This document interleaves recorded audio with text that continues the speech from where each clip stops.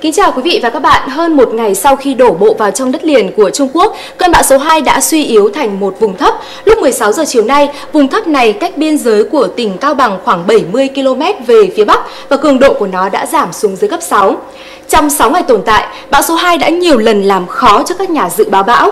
Cường độ thì không ngừng tăng, hướng di chuyển thì ngoằn ngoèo ở trên Biển Đông, khiến cho việc dự báo về đường đi và vị trí đổ bộ bão của các trung tâm báo bão Việt Nam cũng như là thế giới liên tục bị thay đổi và phân tán.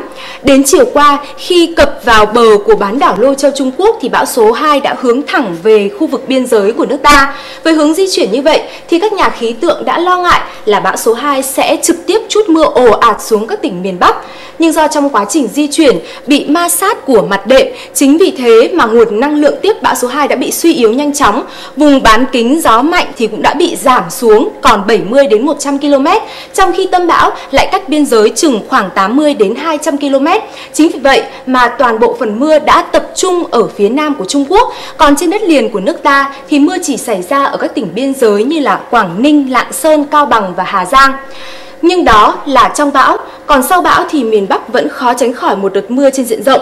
Dự báo vào đêm nay khi vùng thấp hậu bão tiến sâu hơn về phía tây đất liền của nước ta sẽ tạo điều kiện cho gió đông nam từ biển lấn sâu vào trong đất liền, mang theo một khối lượng lớn hơi ẩm. Trong khi đó thì ở mặt đất đang có một rãnh thấp có trục là Tây Bắc Đông Nam lại đang có xu hướng hình thành. Sự kết hợp của cả hai hình thế gây mưa ở tầng thấp và ở tầng cao này sẽ gây ra mưa vừa mưa to ở Bắc Bộ. Riêng với vùng núi phía Bắc và khu Đông Bắc thì còn có thể có mưa to đến rất to. Nguy cơ khiến lũ quét và sạt lở đất ở vùng núi và ngập úng ở vùng trũng vẫn còn luôn tiềm ẩn. Cuối cùng sẽ là phần dự báo chi tiết cho các vùng vào ngày mai.